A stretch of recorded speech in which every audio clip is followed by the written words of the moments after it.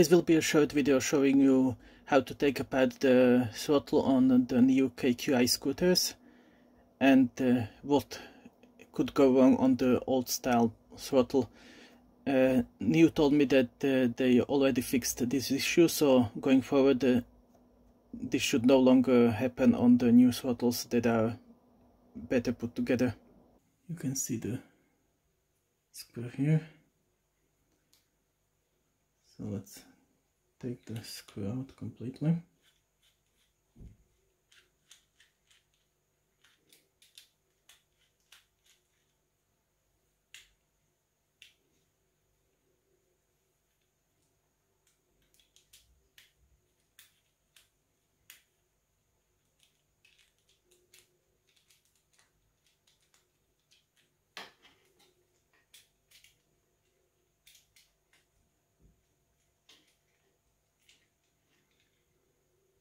So it's just a normal Allen screw.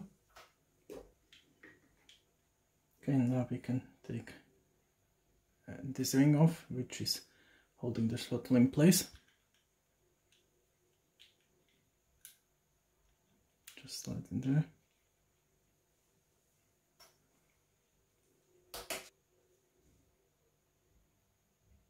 And now it's about figuring out how to get to the wiring on the inside to see if there is any issues with that. A couple of users reported the same fault with the throttle on the new KQi scooters and usually from what I've seen it's uh, because the wire on the inside here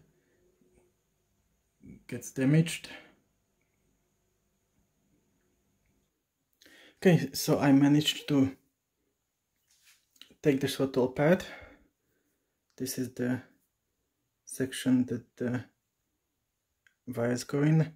There is one more screw there that should allow us to see the connection and whether it's fine or damaged.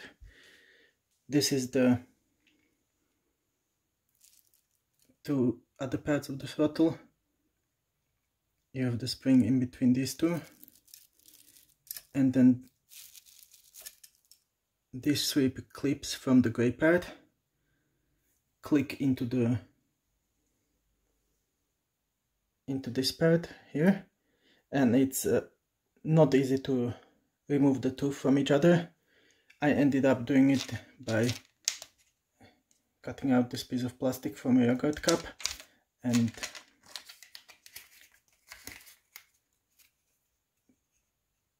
and putting it in like this and pressing all three of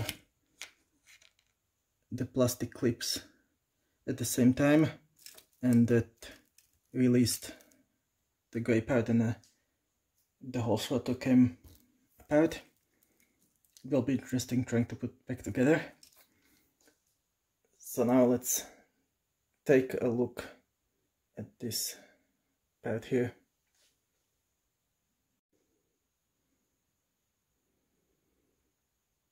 Okay, so let's try to remove the screw. You should also be careful because there is a lot of grease on all the inside parts of the throttle.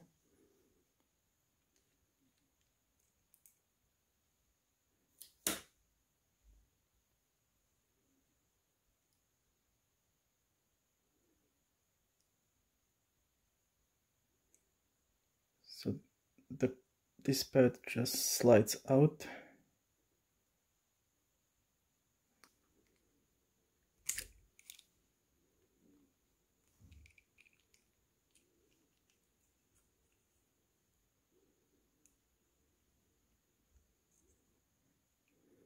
there is a some sort of silicone rubber material that's sealing the cables in.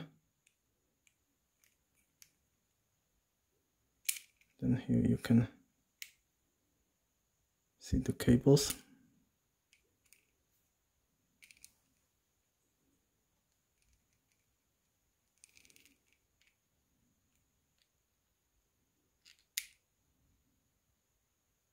When you encounter the throttle error, the easiest way is to just uh, replace the whole throttle with a new one. It even if you are outside of warranty, this should be a cheap part. So probably just best to contact NIU and get a new one. And then just replace it and connect everything back up together. Here you can see the throttle taken apart.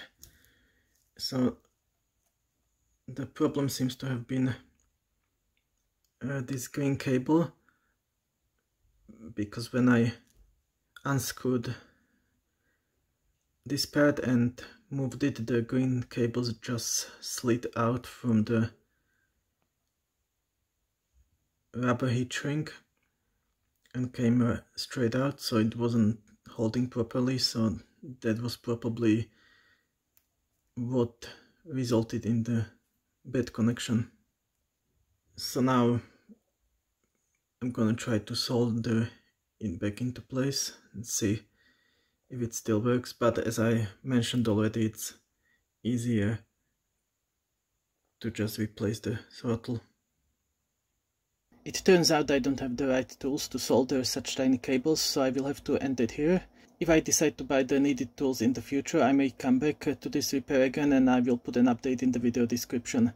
For now I just have to replace the throttle with a new one.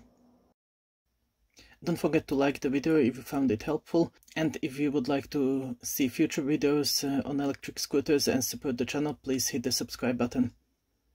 Thanks for watching.